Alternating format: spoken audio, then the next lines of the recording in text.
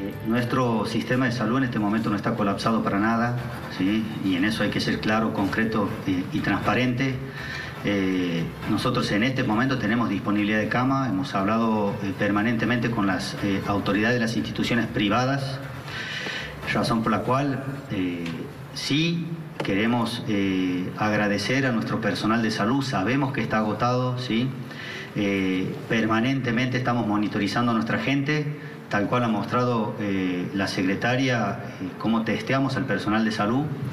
Eh, cada institución tiene la responsabilidad de diagramar y programar cómo es el testeo de cada uno de los servicios que tienen funcionamiento, sea el servicio de urgencia, el servicio de terapia, el servicio de cirugía, con el objetivo de mantener una vigilancia epidemiológica permanente de nuestro personal de salud.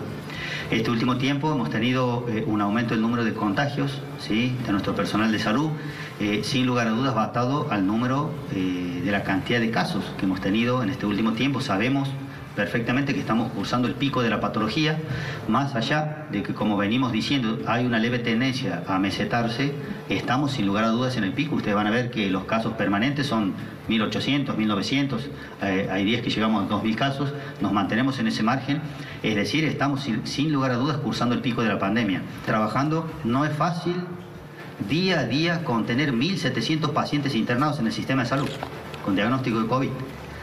Pero concretamente en este momento colapsado el sistema no está y tenemos ¿sí? reserva de camas, tenemos facilidad eh, para eh, conseguir las unidades tanto en el subsector público como en el subsector privado.